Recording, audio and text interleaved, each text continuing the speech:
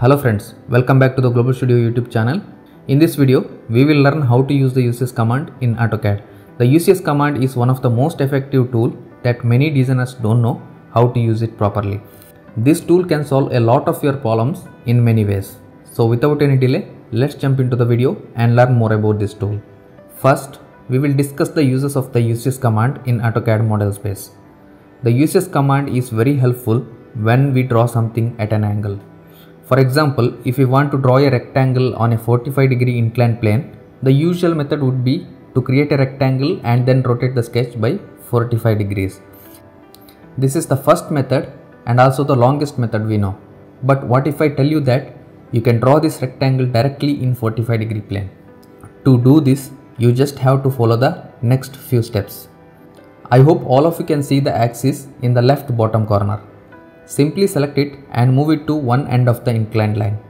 Select the axis again and take the UCS command. Then select the first and second points on the inclined line and right click to finish the step. Now enable the ortho mode and draw a sketch. You will see that the sketching orientation changes according to the UCS orientation. You can also draw any type of sketches including different angles with respect to this fixed axis. Once you finish the sketch, right click on the axis and select world to go back to the original axis. You will see the axis returning to its original position. This is the first most important UCS trick in AutoCAD. The next trick is changing the drawing orientation in a viewport. I have one sketch here and this drawing and its dimensions are at a 45 degree angle.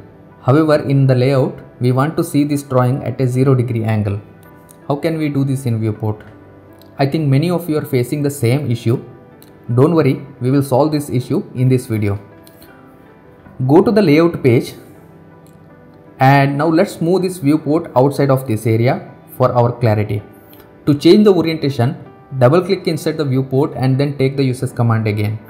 Select the first and second point of the inclined line and right click to finish the step.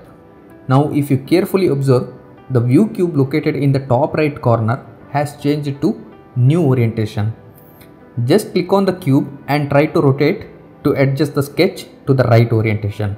That's all. We have updated the orientation using very simple steps. This is the power of UCS tool and you cannot avoid using this tool after watching this video.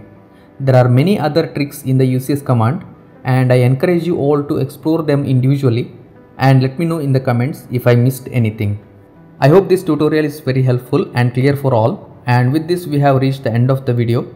I have many similar videos like this on my channel. Please watch them and also subscribe for more videos like this. Thank you for watching. We'll meet again in the next video. Bye bye.